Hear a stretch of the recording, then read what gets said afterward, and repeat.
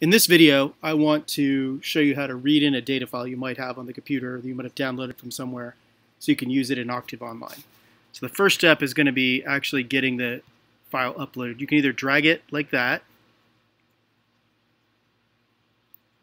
No, I'm just going to go ahead and drag it in there. You could also click upload and upload the file.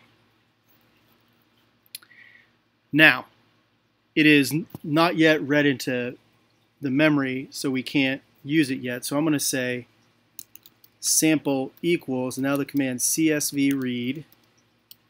Now we need the name of the file, exactly. So sample.csv.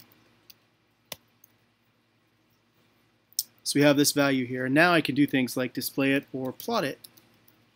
Plot sample.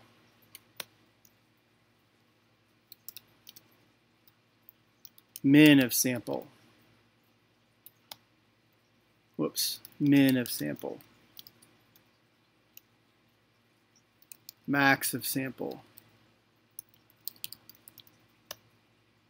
So now we have this data. It's read into to Octave, so now we can do things with it. We can manipulate it and calculate and display it.